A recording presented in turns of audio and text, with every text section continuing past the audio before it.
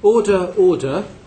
Uh, can I welcome our witnesses? We will now hear evidence from Shelter, the Citizens Advice Bureau, the Law Centres Federation, the Advice Services Alliance, and R3. For the record, please could I ask each of our witnesses in turn, from left to right, to introduce yourselves by name and organisation to the committee. And once you've all done that, if any of you would like to make a brief introductory statement, You're most welcome to do so. And we'll start off with Francis Coulson. Thank you. Um, Francis Coulson, I'm president of R3, which is the insolvency trade body. We have 97% of insolvency practitioners as our members, and I'm a, a lawyer. Uh, my name is Anne Lewis. I'm Policy Director at the, at the Advice Services Alliance. We're the umbrella body for the um, advice networks, and some of our members, but not all of them, are represented in this room. Um, my name is Julie Bishop. I'm the director of the Law Centres Federation, and there are around 56 law centres located around the country, staffed mostly by lawyers.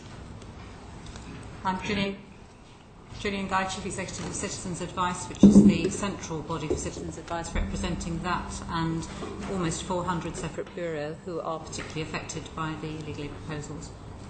I'm Simon Pugh. I'm Head of Legal Services at Shelter. We're a national social welfare law provider specialising particularly in housing, debt and welfare benefits. Could I thank you all for those introductions and encourage you to speak up crisply and clearly, because not only are you addressing the committee, but you're also in many ways addressing the nation, and we want to hear what you have to say.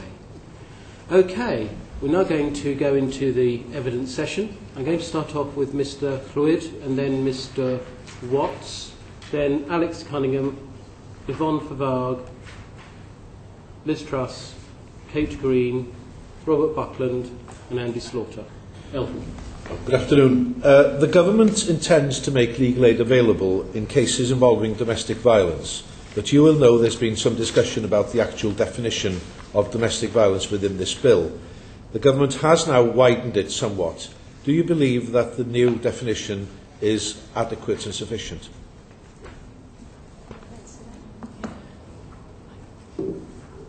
Um, yeah. Um, the one thing that we would say is that law centres uh, is specialty is within the area of uh, social welfare law. However, our involvement with domestic violence is often as a trigger to social welfare law problems. In relation to your question, though, our view is that according to the impact statement, there are only an additional thousand people who will be assisted with the widened definition. So we believe that means that it's only been tweaked with as opposed to widened, and we would support the submission put by the Women's Institute and the definition that they're putting forward for domestic violence. Can I just add Gillian to Guy. Um, I think that the definition itself, it's helpful to broaden it, but the, the main issue is identifying where this, where this occurs. And our experience in citizens' advice is that it's very often a secondary issue. If we're not giving advice on the primary issue around debts that come about, around housing issues, we're unlikely to pick that up and therefore get the representation that people need. Dave Watts. The Prime Minister is on record as saying he thinks that the uh, Citizens Advice Bureau is a wonderful organisation and he wants to do all he can to support them. What would he need to do and what resources would he have to provide for you to be able to cope with the, the potential changes and demands that's coming on the service? First of all, I, I would have to agree with the Prime Minister in his assessment, um, but I'd, I'd just say that the, the two sets of issues that really bother us about these reforms, uh, one of them is taking out of scope uh, debt, housing and benefit advice. Uh, which will leave an advice gap, we believe. And the thing that would need to be done by the government to make up that gap is to make proper alternative provision if indeed it's to come out of legal aid scope. So that's the first argument. The second argument is then if it does come out, it can't just land nowhere. Where will those people go? I suspect they'll go to MP surgeries, but they've got to have somewhere to go to get, get that advice. uh, we've got to be able to uh, re realise the return on investment of early intervention and early advice, which will have gone uh, if we don't have that alternative provision. And we've got to make sure that vulnerable people are not unassisted going through proceedings or, or, or being able to get themselves out of the chain of events that takes them into proceedings. So the first set of issues is around there has to be an alternative if this is to go forward. The second set of issues are that the legal aid that in, in scope that remains under the proposals is particularly complex in terms of elig- eligibility and hard to apply. So there, there need, will need to be some more uh, clarity and simplicity around that. Um, there would also, uh, we believe, need to be something to bring these two things together. There is a, a, an intention, I think, under the proposals to segregate what is seen as general advice and what is seen as pure legal advice. Well, people don't present as purely one or the other. They present with a number of issues, many of them intertwined. And we need to make sure that there is a way of not having a segregation of that advice because life isn't like that and people aren't like that. So we have to look at the whole system, and I believe that's something else that has to be done to make these proposals work. What size of resources? Dave you, what, what size, size of increase in resources would you require to do the, the functions that you've just set out? Well, have you got any estimates about what your members' associations would need to be able to do that? Well, I know what we Lynn currently get to do that. We, we currently get 25 million to do that. Um, that's a stretch as it is, as all these resources are. And I also would like to point out to the committee that this is not um, in isolation. I mean, we've, we're facing local government cuts to the Bureau in the localities where they give the advice. We're facing financial inclusion money cuts that were given a reprieve, but we still have to face that issue. And here's another one, another 25 million being taken out of that advice system. So we'd need at least as much as we get currently, but we believe that the demand isn't standing still. We've got welfare reform coming along, which I think will bring uh, an increase in demand, and we do have a recession that I think we've all noticed um, that is in- increasing debt, increasing housing problems, and really burgeoning that, that demand. Thank you. Liz Truss. Isn't it the case that in, when we're talking about quite a few of these issues, that it, they're not strictly legal matters? And at the moment, the way Britain deals with them is to treat them as legal matters. That's why we've got such a high legal aid bill, relatively speaking, compared to other countries. And if you look at the scope of legal aid in other countries, it is narrower, and there's a lower income threshold uh, for those other countries on issues like the, the welfare system, isn't it the case that it, we should be improving those services at source? So, for example, there are fewer errors made in the first place in the benefits system that don't require the, that legal redress afterwards. I mean, would, would you agree with the general principle that it's wrong to spend all this money on legal services when actually that isn't the reason the problems have been caused in the first place? Anne Lewis.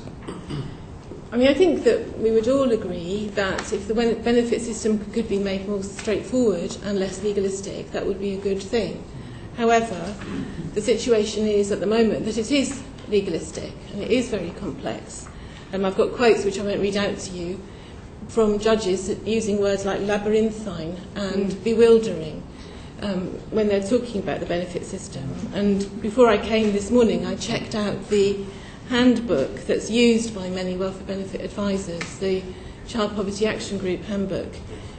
This handbook it has got 1,600 pages and it refers to 45 Acts of Parliament and 185 regulations. The, bit, the, system, the system at the moment is complex and some people within the system do need specialist welfare benefit advice and that is our view. But Does that Liz advice necessarily have to be legal? Yeah, I, I think at the moment the, the system is so complex that some, some people, not all people and not all problems, but in some situations people do need specialist welfare benefit advice, and that is legal advice. These are, this is a legal Alice. structure. Uh, could Julie I Bishop. respond to that? Um, there are two things to answer. Number one is that in order to resolve the whole client's problem, that we do need to provide a number of services to them. Some are legal, some are non-legal. However, uh, uh, our agencies work together in a streamlined and coordinated fashion. And I put an example of one in our evidence, where in fact we have referral routes. So in the case of law centres, the problem doesn't come to us until it is a legal problem. And so we use legal skills, we use legal aid to resolve legal problems. We don't provide generalist advice in order to provide a legal problem. But the second point I wanted to answer was your question about the scope and that the scope is narrower in other countries. Well, as you can hear, I can speak about the Australian jurisdiction. Um, the equivalent of social welfare law there is actually handled differently, you're correct, but it does come out of what's called the Attorney General's Department. $60 million Australian is given to the equivalent of law centres who have a very wide jurisdiction. Uh, there are 200 of those. They serve a couple of hundred thousand people per year.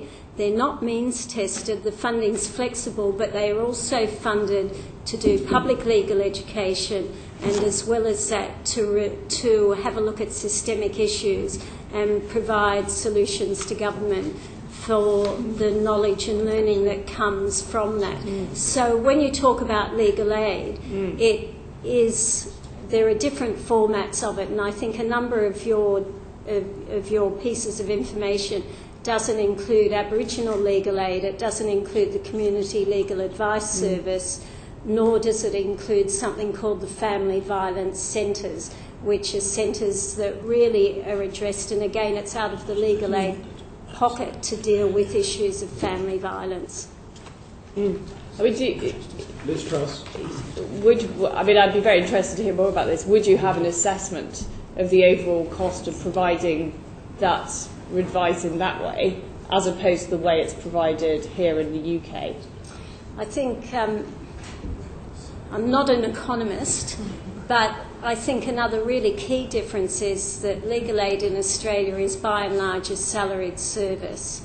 Um, and so that means that there are grants of legal aid, but private lawyers uh, are so poorly funded with their grants of legal aid in Australia that they're regarded as pro bono, more or less. So it's true to say that the hourly rate is much lower.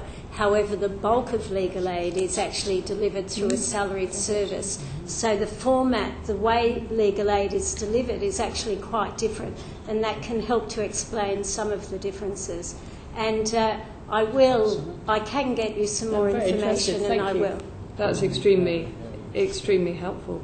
Um, so, in terms of the proposals that the government has put forward in the bill for the reform of legal aid, what would do you think the bill is too high at the moment? A general question for the panel.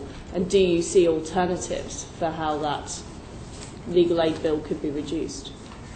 Or are you saying that it's essentially being generated by other parts of government, like the excessively bureaucratic welfare system?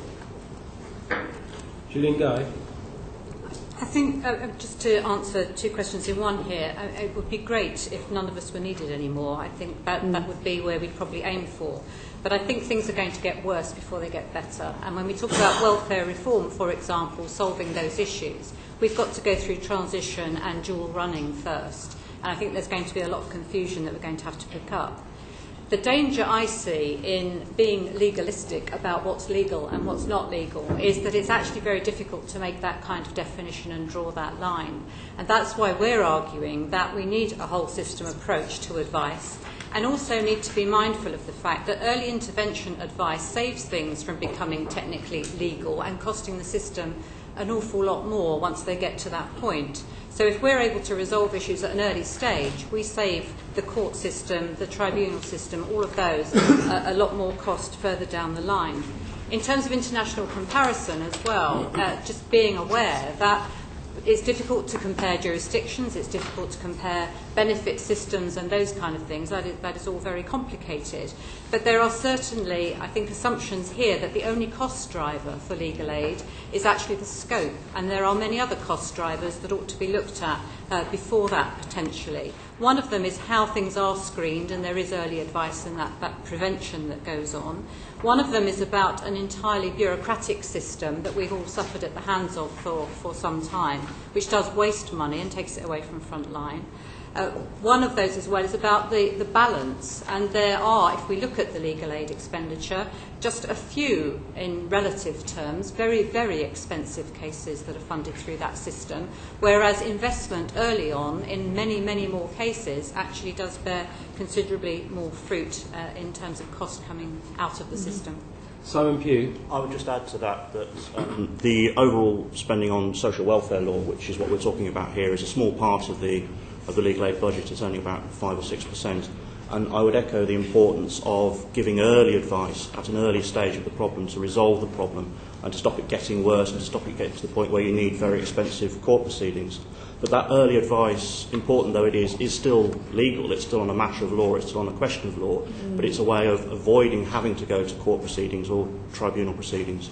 So if we can intervene at an early stage, then we can stop cases spiralling to the point where they cost more later on. I mean, you- just Liz one, one more point. I mean, on the on the subject of tribunals, isn't it case the case that the legal aid system has partly drive driven the legalisation of some of these bodies? So tribunals were initially meant not to be a body where lawyers would represent people, but that has ended up happening, and it's partly because we're pushing more money through legal aid rather than other ways of solving those problems.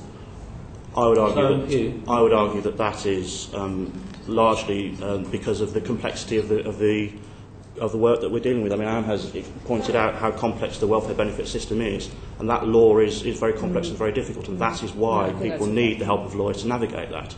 So you could reduce costs by simplifying the system and making it easier for people and for preventing mistakes from being dealt with in the first place. And that way you reduce demand rather than just simply cutting out the supply. Uh, Lewis. Yeah, if I can just add, um, the situation is that most, um, in most tribunals, legal aid is not available to fund representation in any event. The um, only ones funding is, is mental health and Yeah. immigration. So I think that argument can't apply in the larger tribunals like employment and welfare benefits, social security, whatever it's called. Kate Green. This argument about reducing the costs uh, by simplifying the system. And Gillian Guy, you mentioned uh, that we were obviously anticipating some very substantial welfare reforms uh, and that at least for a time uh, there would be transition problems and parallel running of systems which would create a greater need for advice. In the long run, what's your expectation that the system will become sufficiently simpler uh, as a result of universal credit and other reforms to the extent that the proposals that the government's bringing forward could be made workable? Gillian Guy. Uh, I I think the answer needs to be we're optimists by nature. Um, so uh, obviously the, the whole aim of this system is to simplify it um, and try and, and, and not have to duplicate data, information and make sure that people understand what benefit they're entitled to. Um, we are also realists about, as, as you say, that transitional um, p- part, which is going to be ex- extremely complicated. And I think the other point to make is that, that there is an intention to simplify. The devil, as ever, will be in the detail. And we're trying to be constructive with government in working through that detail. But ultimately, the question will be, is this achievable? And is it going to be as simple and as, as clear as it is setting out to be. And from the point of view of more vulnerable clients, people perhaps with learning difficulties, mental health difficulties and so on, do you anticipate the system becoming simple enough to, for them to navigate without assistance? I suspect they will always need assistance, and that's why, at Citizens Advice, we are protecting our face to face as well. Uh, because another feature of these proposals, of course, is around telephone access, which immediately excludes a large number of people who do require to just empty a carrier bag of things in front of someone, sort through them, and, and get some advice. Robert Buckland. Um, it's primarily a question for Gillian Guy. Um, I've read the submissions from the CAB LA15, uh, Mr. Hollowbone, with, with care, and I was particularly interested at the, in the last paragraph and the proposals to, in effect, allow uh, for the creation of local legal advice partnerships. Um, am, am I right in, in understanding really that would be a, a shift in commissioning so that the partnership or the CAB would be the Commissioner of Legal Services locally? Yes, this, this was Gillian a Guy. Sorry, this was a proposal put forward by Citizens Advice to try and deal with the issues that I outlined, outlined earlier, which are about needing a whole system and not having an artificial separation between what is seen as general and what is seen as legal, because the, the complication and the continuum goes through an, an, an entire uh, system. So it was an attempt to say that actually, if we drew out the advice from what is proposed uh, under, the, um, under the bill um, and, and put a whole system together, we could actually take it into local commissioning so that it dealt with local advice need from beginning to end. Now, I know that that is not particularly uh, meeting the government's policy objectives, and that's because the government wants to be very clear about what's in legal aid, and I understand that from a perspective of not having the growth and the creep that has gone on uh, in past years. Yeah. So uh, I understand that proposal is not necessarily uh, attractive, but we think that that could work to resolve some of the issues that we've spoken about. The alternative is to make sure that at least we have some more provision around the advice end, which is a, currently a gap under the legislation, and we have to work together to think how that interface is going to, is going to uh, be affected. Otherwise, we will have the separation. Mm, uh, thank you for the detail. Just to, thank you, Mr. Hollobone. On following up how, how would that work, for example, with um, private practice, local private practitioners? Would they be involved in the system, or, or would they be sort of outside with this idea of commissioning? How, how would that work? Well, our idea was that it would involve all local advice givers so that we weren't uh, tripping over each other, that we understood what the local need was, and that we worked together to meet that need in the most cost effective uh, and uh, efficient way. I think Julie. Julie Bishop. Uh, just to add on to what Gillian's saying is that the committee may be interested to visit a well-functioning example of this, which is called Advice Services Coventry, which already has uses technology appropriately, has streamlined methods for referral. Um, they do hot referrals where if you walk into one agency and you're not able to deal with it, they can send the notes, etc., via computer. They have protocols to work with the local private advisors, and it's been running for the last five years. That's but one example. But if you were interested, it's quite a good example to have a look at how a conception such as Gillian's putting forward does actually and is actually working in practice. Mm. And it also fits in with the government's agenda because it's bottom up it's local, it's addressing local needs, it does needs based strategic planning.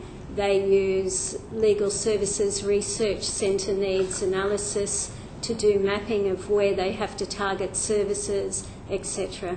Mm. Robert Buckland. Oliver, just, just to follow that up, I'm very interested by what generally your evidence, uh, Julie Bishop, so thank you very much for, for that. But uh, just coming back to, to the, the problem the government has, and I think we all acknowledge the issue for the government is how you control the budget and how we how the government manages to keep a purchase on, on its expenditure on proper legal aid. Um, I accept the point that you make that a person coming along for advice doesn't turn up and go, hello, I'm a legal debt problem. They turn up with a, sometimes a multiplicity of issues, and it, it's often the task of the advisor to work out into which category they may fall. And that's currently the position with legal aid as it stands now. But could, could a system be developed so that, in effect, there were, there, were, there were two thresholds? One, the general threshold that you come in on, and then a further threshold that would ensure that the government's objectives of controlling the legal aid budget were met. So that, in other words, people who were filtered through were only getting legal advice were getting proper legal advice that, that was properly funded. Yes. I, that, Julie Bishop.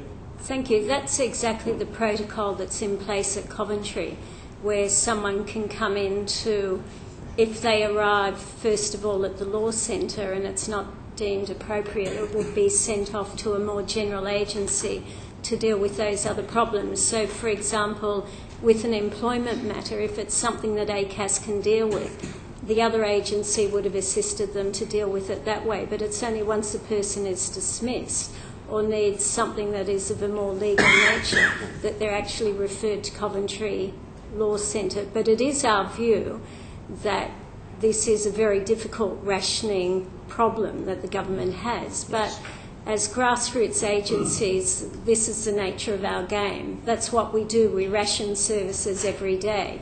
And so the Coventry example has been a mechanism to try and effectively ration very limited resources. And so the collaboration is one means of doing it.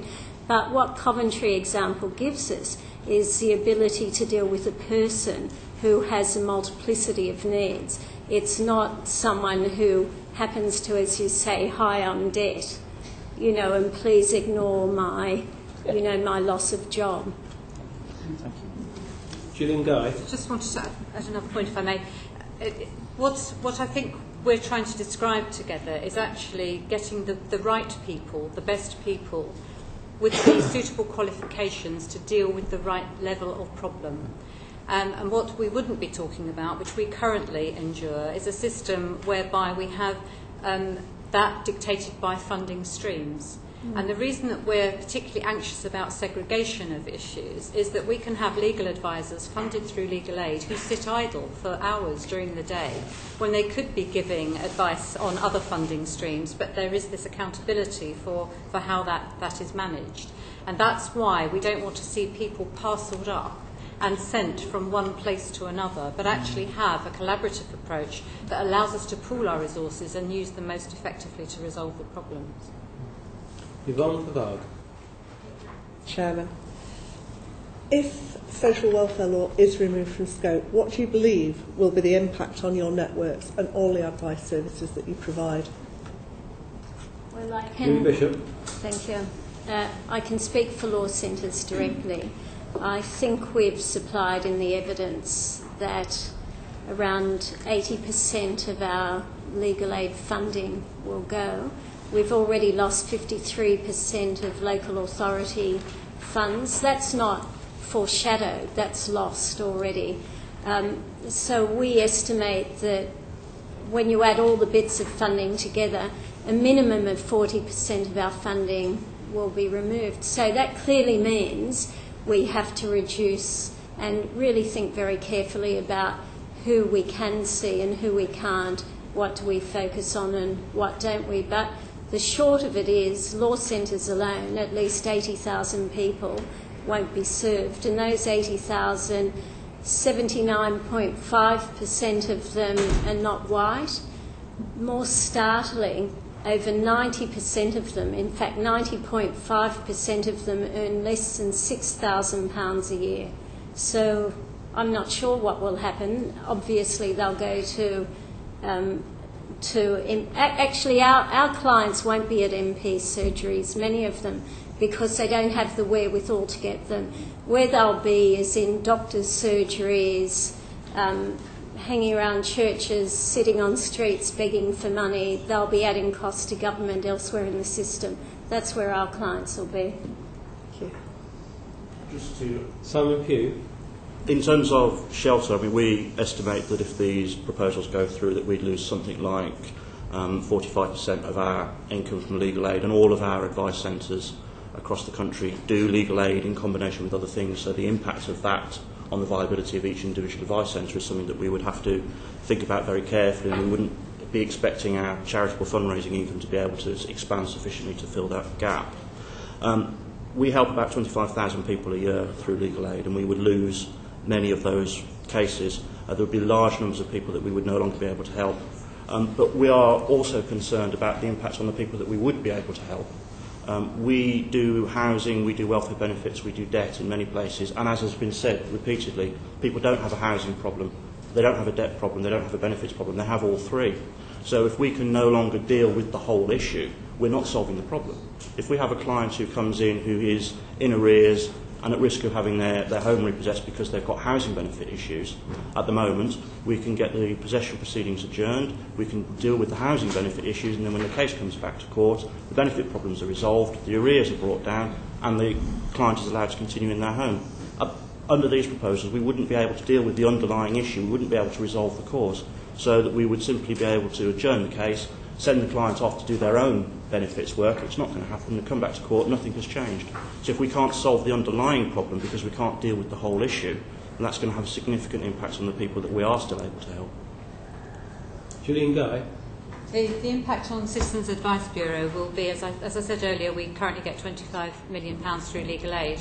20 million of that would go under these proposals, so that's an 80% cut in, in that funding. That would mean about 450 advisors uh, would also go from within the citizens advice system. And clearly that starts to, to hit with the other funding issues that I've already mentioned at the viability of those bureaux. And particularly when taken in the context of this not being spread evenly amongst bureau, but about only half of them have legal aid contracts. So the percentage of of their um, income that that provides is much higher than were, if it were spread across the whole piece. It's also a random impact, and I think that's particularly uh, dangerous given where advice will then be available and where it won't be available. And there will be areas, we imagine, uh, that, that will be hit higher. And also the smaller contracts that could come out of legal aid will probably not be economically viable and won't be attractive.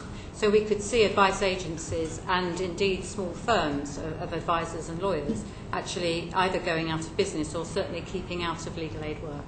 Anne Lewis.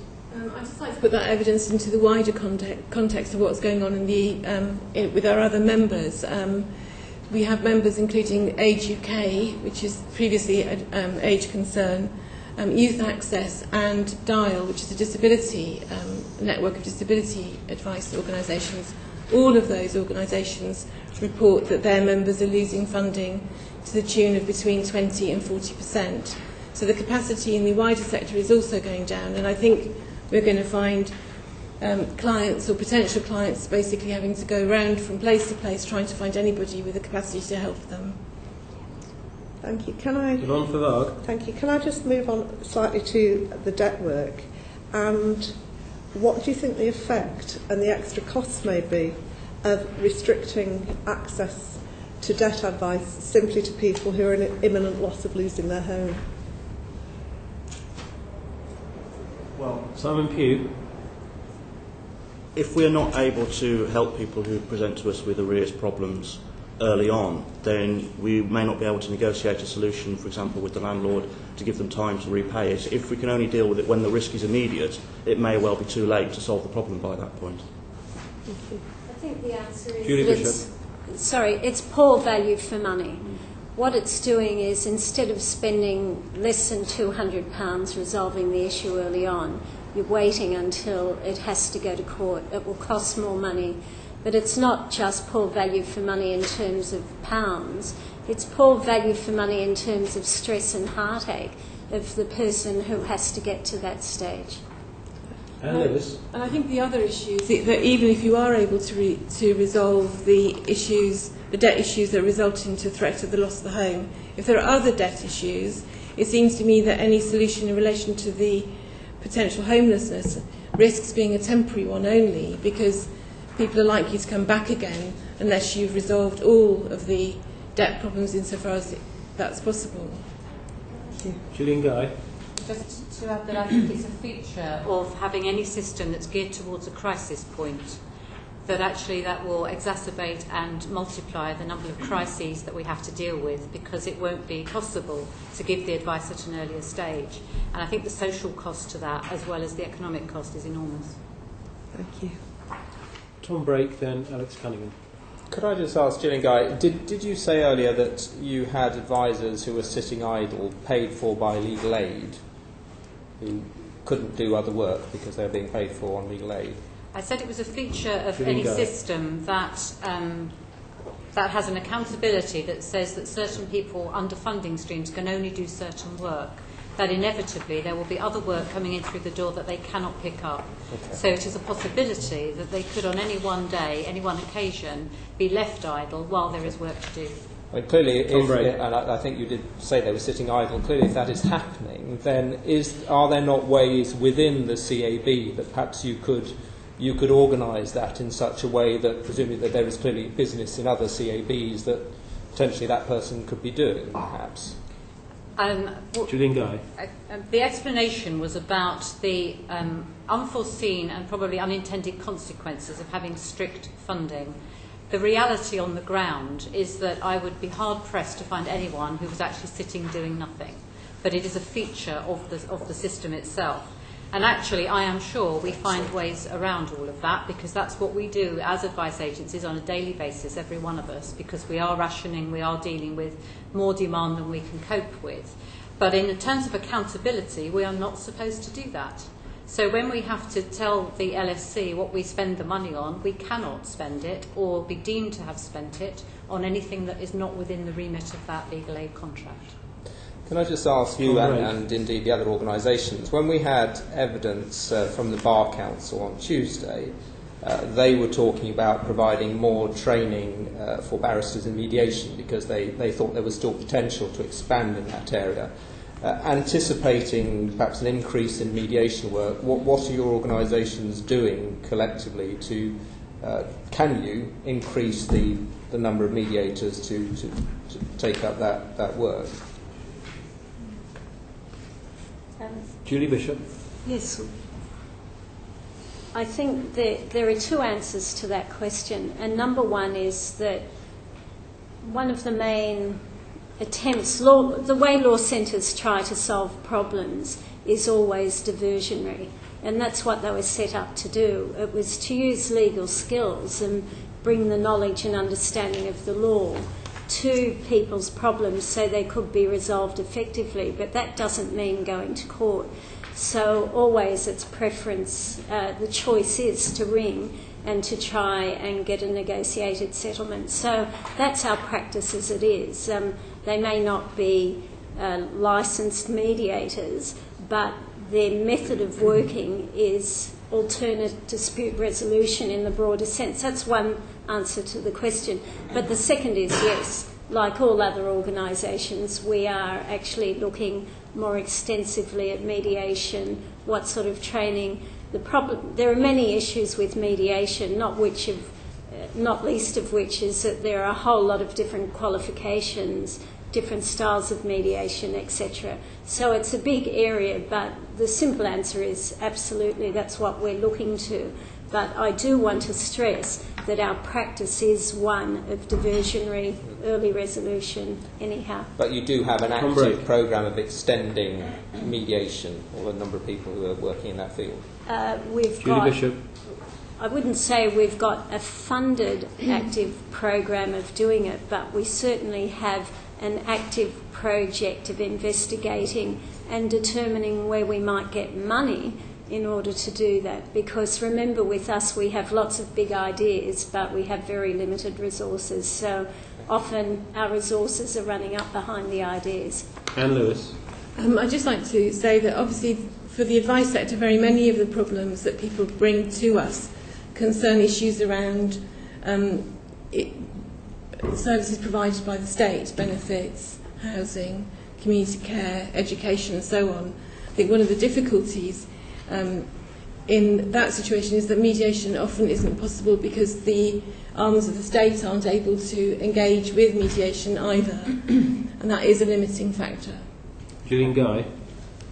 As Citizen Advice, we, we do think that mediation is one of the tools that we have in, in its loosest term, if you like, but uh, like the Law Centres Federation, it's not about having uh, registered mediation, if, if you like. I think it's important to say that, that that's one of the things that drives us to try and stop people getting caught up in the whole of the legal system, which we know is costly, but it's also costly emotionally and tends to ext- extend the period of time that a problem will exist. So, so that would be our aim. But I do think it's important not to mislead the committee that suddenly there could be a mediation system that grows up in the voluntary sector and operates on thin air, because that won't happen. It can't happen. And although we're extremely good value, we're not free. Simon Pugh. For the reasons that everybody is given, many of our cases aren't suitable for formal mediation, as it were, but we do very much try and avoid the need for going to court proceedings wherever possible. It's, in many cases, it's the absolute last thing that our clients want to do. They want to avoid court, and we actively try and seek an early resolution. We try and negotiate, we try and discuss, we try and settle cases, and it's, it's an achievement when we do that. Tom Brake. Could I ask a slightly different question? That is about your funders, particularly, I guess, for Gillian, uh, uh, Gillian Guy and, and Julie Bishop. Uh, and, uh, is there any uniformity of approach from, for instance, local authorities about the level of funding, or are you in fact finding some who are supporting the CABs locally and others who are cutting the budget completely? Yes. Julie Bishop. That depends very much. Local, Yes. Some local authorities Yeah. are making a conscious decision to support their CABs or their law centres, Yes. where others are making Yeah. a contrary decision. It's um, Julie Bishop. we uh, earlier in the year uh, surveyed every law centre to find out what was happening on this very question. Uh, we found one law centre that actually got a 12% increase. Uh, we found many that had had a 100% cut, and we have all variety in between. Just to say for Citizens Gillian Advice Guy. Bureau that there is no uniformity. Um, some, some of the differences are explicable and probably desirable, but generally there is no uniformity around um, funding. Where au- authorities have taken a positive decision to keep supporting the advice service, it is very often because they have seen and registered and acknowledged the return on investment argument that there is for that, which is the very argument we're making on legal aid as well. That's very much been Simon our, that's very much been our experience as well. We have a, a range of centres that have um, contracts with local, advice, local authorities either for advice work or for supporting people type contracts. It's completely variable from area to area as to what's happening with those contracts. Thank you. Alex Cunningham, then Damian Hinds. Now, Ms Bishop said that there are some 80,000 people attending law centres who won't be getting the service in the future. Uh, Ms Guy uh, spoke of the uh, tighter budgets to do what you're doing now, and yet you face even more workload into the future. How will you cope with that? I mean, who are the losers? Or are we just facing a deficit? We're facing uh, well, a deficit of opportunities, uh, of appropriate support? Or are we facing much more of this rationing uh, that uh, Ms Bishop spoke about?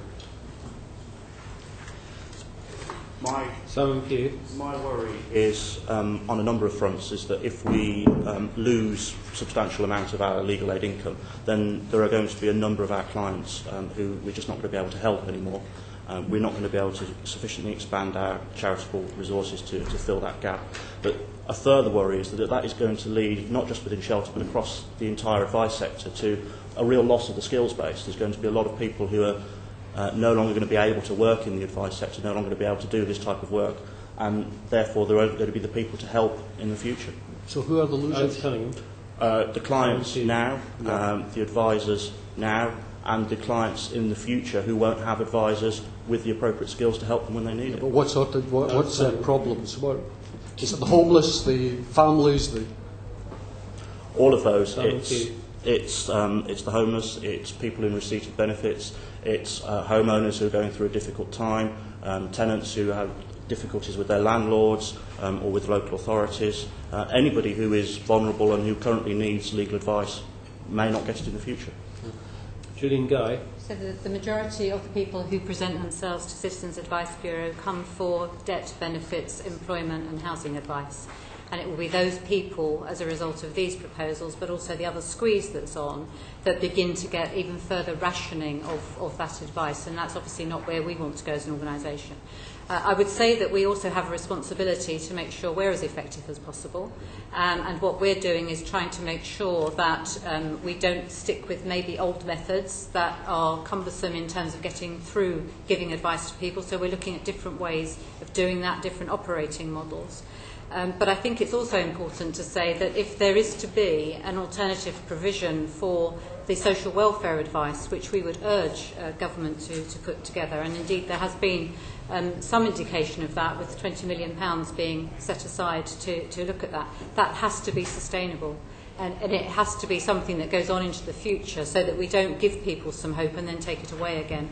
As ever, it's going to be the most vulnerable, those who don't know their way around systems, those who have multiple problems because one problem brings another, brings another, who are going to suffer the most as a result. Can I ask how you Cunningham. ration in these circumstances? How, who do you turn away? Well, Julie Bishop. that, I mean, clearly that's the issue, isn't it? Who do we turn away, why, and how? Um, and that is our problem every day um, about how do we ration and how do we do it. I think rather than nominating today who we're going to turn away, one thing that I will say is that one of our key focuses in the Law Centres Federation and amongst law centres are young people. And we are concerned that young people are being particularly disadvantaged by this bill. the people, and by young people I don't mean under 18s, I mean under 25s. And uh, we've submitted evidence as well on the impact of young people. And we believe that if you do not resolve a young person's civil legal issues such as housing, education, income support, etc., there is a direct correlation between that and criminality. And getting young people early, not only are you setting them up for life, but you're also diverting them from other bigger costs to government in the criminal system. So we have a particular concern about young people and how they will be dealt with. Secondly, I'd like to say, in terms of rationing and what the end game is of this loss of funding, is that what the government's losing here, it's not simply rationing, but they are also losing with the close of any of our agencies all the resources that we bring to it. And so for every pound we give to the government, this isn't a saving figure, but we estimate that we bring in about another 15 pounds worth of additional resources. So that's the law company, the, the big law firms who support us, who house us, the pro bono, the charitable funds that government isn't able to access, etc. And that is to say nothing of our community links and the work we do with community agencies, because it's that work with the non advice sector that also gives you a full problem to the solution. What we're able to do is not simply solve the legal problem, but we can, through our other community links, address the compounding issues. When a law centre goes, you're not just you losing skilled and skilled workers, but you will not recapture that resource that we bring to it. Damian Hinds and Andy Slaughter. Um, I'd like to ask Gillian Guy, if I may, about your document towards a business case for legal aid, which contains some very, um, very impressive uh, cost-benefit ratio figures, which no doubt will be getting their fair airing on the, in the chamber of the Commons. I mean, obviously, Citizens Advice does advice in a number of formats and through different channels other than legal aid as well. I wonder if you have equivalent cost benefit calculations for those other formats? We do have other cal- we do have other calculations because uh, in, in times of justification for the kind of service that we provide, it's important to have the business case set out. and I'm very happy to provide the committee with, with any other statistics. I, I think that would be useful in a sort yeah. of simple tabular yeah. form. Um, I also wanted to talk to you about specifically the figures, um, uh, because you've done this calculation which says for every one pound of legal aid expenditure, you, it says the state potentially saves X. Um, and that's a perfectly reasonable thing to do. You take things like savings to the NHS and uh, net savings to the exchequer. Um, and this may not be a reasonable question to ask you to answer verbally now, but perhaps you might do it in writing later.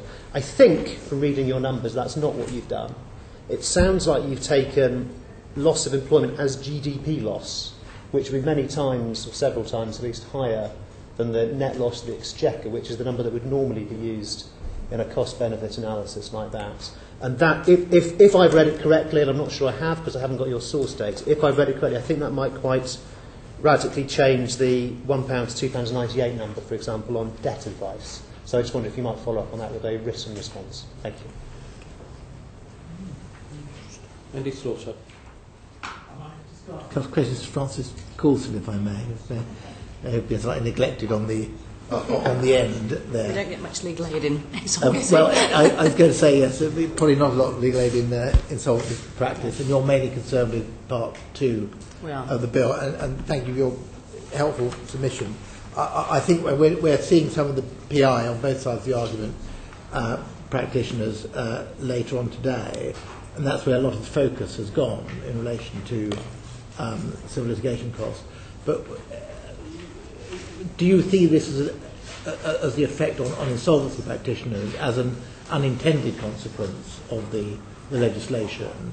Uh, were you surprised by um, what you found in the bill. Um, yes, indeed. Thank you, Mr Chairman. Um, we certainly see it as an unintended consequence, and a lot of the consultation and the bill itself is um, framed towards personal injury. Mm. Um, we've heard a lot about cuts uh, in, in uh, legal aid budgets and, and the agencies today, and what we're looking at here is um, removing the ability of insolvency practitioners to recover funds for the state. If I could just explain a little bit, quite frequently an insolvency practitioner will go into a company or a bankruptcy where there is no money because uh, the directors or third parties have uh, either through mismanagement or uh, at the extreme end through um, organised crime conspired to make sure there's no money there. Um, the only way that uh, any money can be recovered for creditors uh, is for the insolvency practitioners to make an investigation, which they're obliged to do, but then to, to bring litigation, uh, insolvency proceedings against those third parties for recoveries. Um, those can range, let's say, from mismanagement uh, at the low end. At the, the extreme end, they can range to cases that are uh, funding terrorism, and I've seen a number of those cases myself, a very serious uh, crime. Without um, the ability in, in those cases, um, uh, to recover the success fee on um, in litigation, um, the lawyers will have to work on, on risk um, and the, also the adverse cost premium, which obviously, as it's an after, after the event premium, are quite high, then those costs simply come off whatever's recovered, which is supposed to go back to creditors. In about 25% of uh, general insolvency cases, uh, the, the revenue is, is the, the unsecured creditor. Uh, I think that's probably significantly higher in cases where there has been fraud because the revenue is a target for, for fraud anyway. Um, uh, and tax fraud does fund uh, serious crime. So there, uh, it would really have three unintended uh, effects, I think. And first of all, it would make cases uneconomic for practitioners and their lawyers to take on at all. Um, and uh, therefore, there would be no recovery at all. Um, secondly, I think there's, there's, uh, there will be a massive reduction in return to creditors. Um, creditors, obviously, not only uh, the taxpayer generally, but small businesses, employees, and other, other people. Uh, and thirdly, there's obviously a massive deterrent effect in preventing people, if you pursue people who've committed fraud and you take the, their ill-gotten gains from them, then they and others uh, that they know don't do it again. Um, there are other types of fraud that uh, certainly I've dealt with cases, for example, involving um, gangmasters who cause can cause untold misery, um, uh, you know, at the very basic level. Uh, and we'd, we'd done one case where a, a, a non-EU national was running a company, uh, running uh, agricultural um, workers, minimum wage, deducting things like £1.50 for registering them with an NHS dentist, taking the rest of the money off them for putting them in appalling, overcrowded uh, rooms and so forth. That company, uh, and they weren't paying the tax either, That company was provisionally liquidated by the revenue. The insolvency practitioner that was appointed pursued the director, who had a house worth a quarter of a million pounds with no charge on it, took uh, all of that, um, all of his assets away from him. Eventually, uh, he was deported. But better than that, they sold the business uh, to a legitimate business, which then employed those people uh, with proper health and safety, proper minimum wage, and so forth. Mm. If, you, if you can't take these cases on a, a proper economic footing, all, the ability to do that will just be removed. Um, I, I think if you've got any further detail, I know you've got one or two brief case examples in your submission uh, uh, of cases and how that works, because that seems to be taking us beyond simple uh, uh, recovery of hidden monies and into prevention of crime. So uh, I don't know if you want to say any more about uh, criminal activity, but the other question I was going to ask you, uh, you mentioned the revenue. Uh, have you any, I, again, you say in your submission that you think that the return to creditors will be down by almost half, about 47%. And I think you just said just now that the uh, the revenue is is a creditor in about is about a quarter of cases or a quarter by by volume. Are the revenue concerned themselves with this, and are they making representations? And do you know what the overall loss to the Treasury is? Uh, I understand. Thank you, Mr. Chairman. Uh, I understand the, the revenue are, have been speaking to the Ministry of Justice. We don't mm. know the final outcome of those discussions, um, but certainly I understand they are very concerned about this. Um, if, if you take some of the areas that they've used the, these weapons in as one of the tools in their in their um, toolbox, if you like. Um, carousel fraud, 2.6 billion lost to the country a year. Um, for how much? Um, 2.6 billion is the I think the published figure for uh, loss in VAT fraud on, mm. on hmm. carousel. And that's that that's where insolvency is used extensively.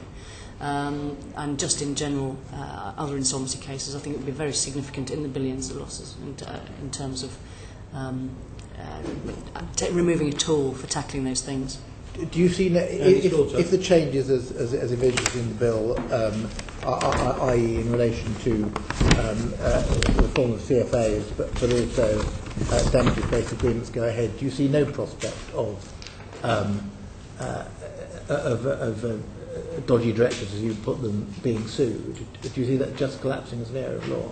I think it, Francis Coulson. Thank you, Mr Chairman. I think it takes away at least half of those cases. Um, right. the, the, uh, insolvency was one of those uh, exemptions that the uh, original Act in 95 it, uh, it was introduced for that reason, to enable mm. insolvency practitioners to bring these sorts of proceedings. Um, and they didn't have the wherewithal to do that in sufficient numbers of cases um, before that. And I think we would be back to that situation. Um, and, uh, and in fact, because the um, CFA work and, and uh, the numbers of people willing to take it on has developed, in fact, it would probably have a worse effect. We'd go backwards. Thank you very much. Thank you. Um, um, they'll go on to the legal aid as if you're Helen Goodman, Liz Truss, Kate Green. Uh, Mr Pugh, Not sure whether you are the right person in Chelsea to be asking this, um, but I want to ask you a question about homelessness and uh, ex-offenders because we know that um, reoffending and homelessness are very highly correlated. and um, I was wondering whether you, excuse me, I'm sorry, I've got a bit of a cough. um, I was wondering whether you um, felt that at the moment there was insufficient coordination between probation trusts, um, prison authorities, and housing organisations. That's not something that I have a that's not something that I have a detailed picture on, but I can certainly take that back and we can write to the committee on that. Thank you very much. Okay. Liz Truss. Thank you. I just wanted to follow up on Tom Brake's questions uh, that he was asking earlier about the way the services are organised. Do you think that there could be improvements in terms of value for money when we have multiple centres for example, from shelter, from uh, law centres, from Citizens Advice Bureau, perhaps in the same location? And do you also think that increased use of phone and email services could help save money but deliver uh, the end result to, to the consumer? Mm. I think. Um, thank you. The reason why I've mentioned the Coventry example several times now is uh, because there is, there is a real uh, potential for doubling up on services, etc. But I raise it because I wanted to highlight the fact that the more common way we work is in collaboration with each other rather than doubling up. And the second thing to say is that the, we're currently not meeting demand as it stands. So would it be that we were doubling up? But the fact of the matter is that, as we've discussed, we are rationing services already. And so, although there appear to be a lot of agencies working in the sector, we're doing it because none of us, even together, are meeting the demand that's there. That's the first thing. The second question is about technological solutions, and that is telephone lines and uh, email advice, etc.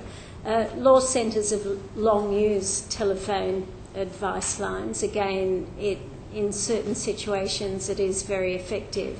Um, but what we've discovered in using it is that you need to have an experienced lawyer on the phone who's able to deal with the matter, understand what the problem is, be able to address whether a face to face appointment's required and bring them in. Uh, the way we do telephone advice lines is to front load the expertise rather than have someone just read through a sheet. We do explore other various forms of technology, but I think what we talk about is the appropriate use of technology. Technology is a tool, it's not a solution. And the thing that we try to do is tailor our services to client needs. And so our client profile, I've already said that they earn less than six million pounds a year. Oh, six millions, my goodness me, six thousand pounds a year. Um, yes, I prefer to be one of those at the moment. But um, the other thing that I haven't said is that on average they have low educational attainment. They've often left school early, poor literacy and numeracy. So one of our biggest problems is actually people's ability to deal with the technology. So where we can, we do. Where people are able to help themselves, we encourage that. That's already our practice, and that's one of the reasons why we get these good value for money figures. Right, yeah. Simon Pugh. Uh, we take very much the same approach at Shelter. We have um, an advice website which people can log on to receive advice and information. We have a, a telephone helpline and we provide um, legal advice over the telephone through contracts with the Legal Services Commission as well. So we have experience of delivery of legal advice and information through all the different channels and they all work and they all um, deliver good advice uh, in some cases for some people but some cases it's not suitable for. There are, there are people who need face-to-face -face advice and it depends on the circumstances of the individual and it also depends on the circumstances of their case. So where it does work, yes, it can work very well and it can be very effective and it can save money, but it is not suitable for everybody or for every case. Julian Guy. Just picking up the, the point around unmet demand, and it is in, undoubtedly the case that there is enough work and more to go around all of our organisations, and, uh, and currently there, there is quite a squeeze on the resource that we have for those. Uh, that said, I'm sure there is room for improvement, and, and in any movement, if you like, that has grown from the ground up over a number of years, our own organisation over, over 70 years, there is room to look back at that and see how we operate. And also, even with unmet demand, and this would be something we would have a responsibility to look at, we, we do sometimes trip over each other, and there is a degree of duplication that we are mindful of and looking at.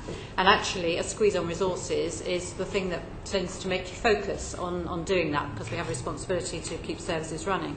I said earlier that our citizens' advice uh, in the Bureau as well, we're looking at opening up different channels, actually providing advice for people in the way that they would like to receive advice. And I think that echoes the point that Simon Pugh has made, which is that there will always be a need, in our view, for some face to face, but we ought to have the most effective and cost effective yeah. method for each person. That's also about a public accountability. We all receive some public money and we have to be accountable for it, and I think we, we uh, are transparent about that. But there is more room around being able to share together um, what's we shared services, support services, premises, those kind of things. Yes. And that's absolutely what was underneath the proposal that we put forward to try and deal with this legal aid situation. Anne Lewis. Um, I'd just like to um, respond to the question regarding the use of technology. I know that the Ministry of Justice has suggested that um, telephone advice is cheaper, and that may well be the case. However, if you dig into the statistics, it does appear that um, the telephone advice um, system run currently by the Legal Services Commission does attract different people from um, those who are using face-to-face services and also possibly different cases. Um, it appears from, and this information has been given to the Ministry of Justice in our response to their original consultation, it does appear that um, telephone advice tends to be used um, more often by people who need information or they get information. And it also appears that face-to-face advice, certainly in housing, that more people, for example, get rehoused or retain their homes if they've received face-to-face advice than those who receive telephone advice. And my suggestion is that that's possibly because people are ringing um, about different issues. The other issue relates to different people using the phone as opposed to face-to-face advice. It does seem, and I think in our evidence we pointed out that more non-white people use face-to-face advice in housing. It also appears that in relation to welfare benefits, um, for disabled people, um, for face-to-face advice, then 63% of the users are disabled, whereas that equivalent figure is 22% for telephone. So I'd like to emphasise that when comparing costs, it is important to remember that these may well be different people and different cases, so they're not directly comparable. Kate Green, Ben Wallace, Yvonne Fovargue. I just wanted to um, go back to the discussion we were having earlier about the uh, changes that are going on in welfare benefits, housing and so on, and the transition, managing that transition. Uh, and we've also got changes to child maintenance, which are, are I think, likely to create another substantial um, period of need for advice, and indeed I think the government acknowledges that in its own proposals.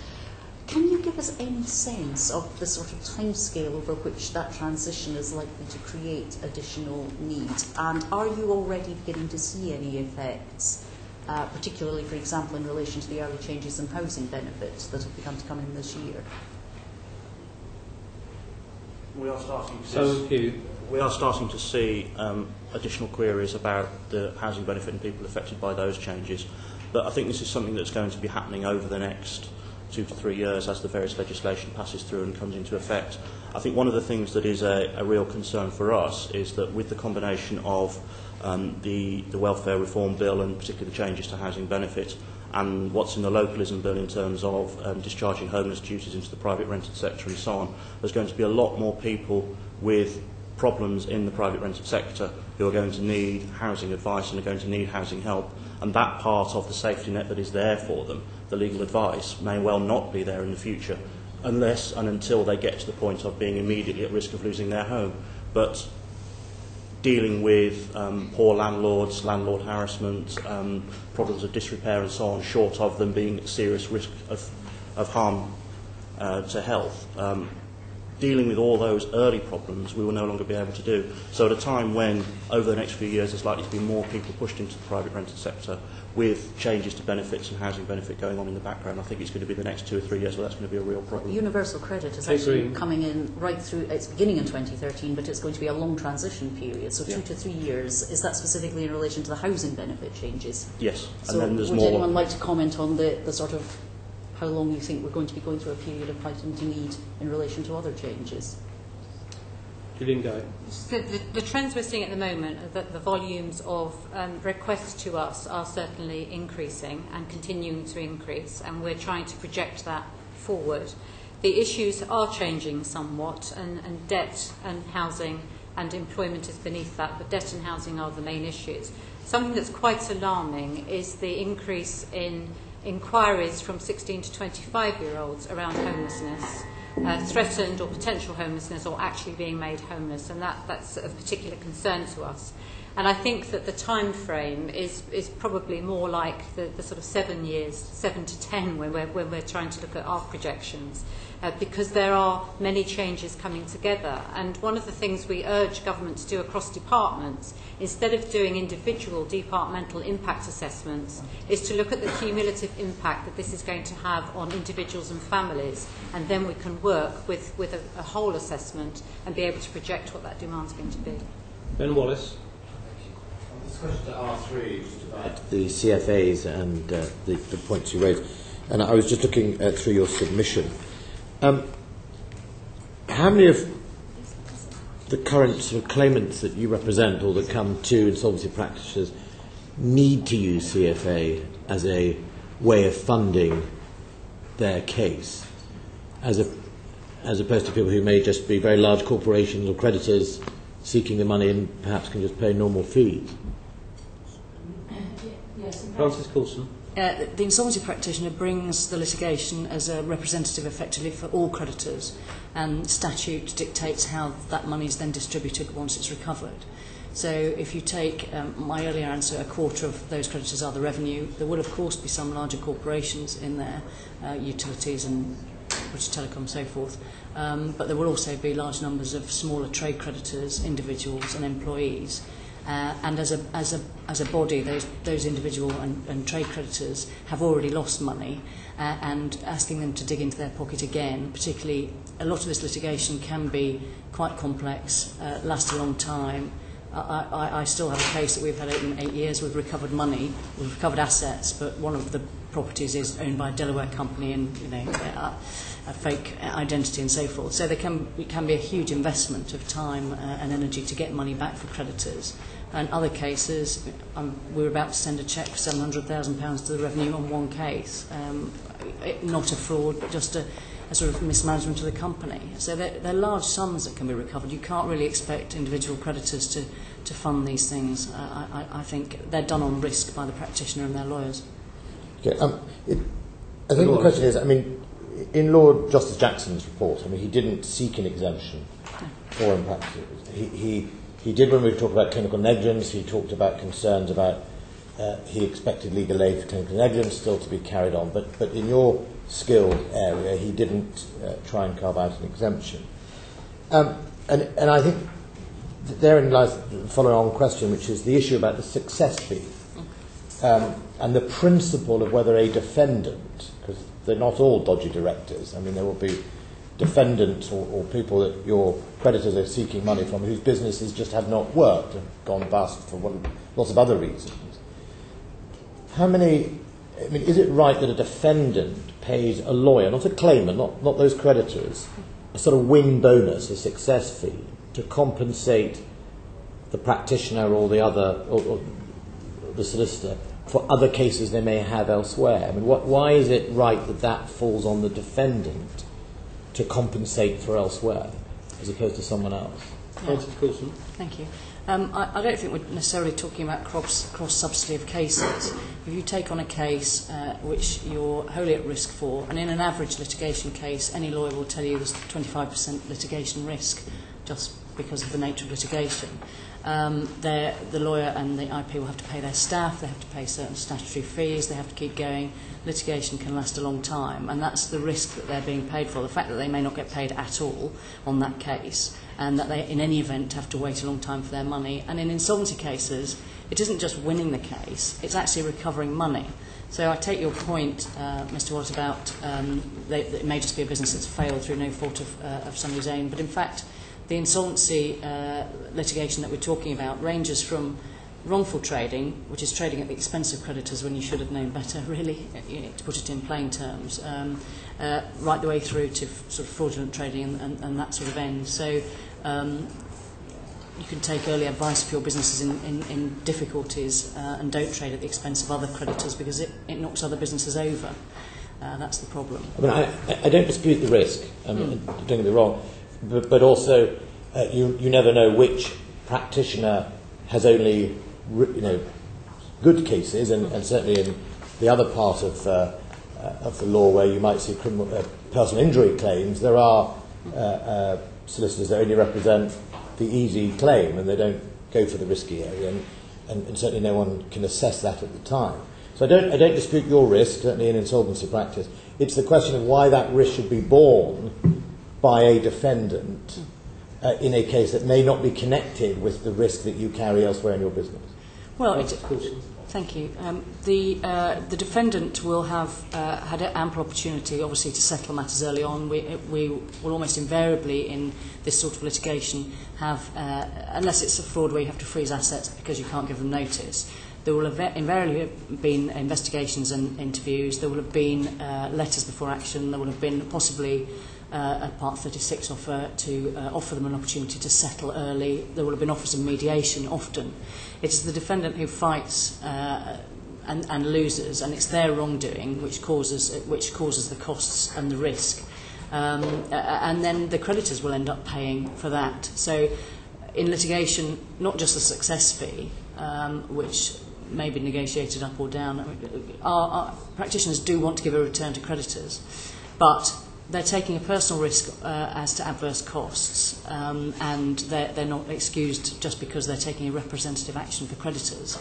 And that's quite a high, that's a high premium. There's no reason why the defendant, who is the person who has committed the wrong, at, at whichever end of the scale it is, should make the creditors pay for that. Got a minute left. Yvonne Fovargue. I think a yes or no answer is fine for this then.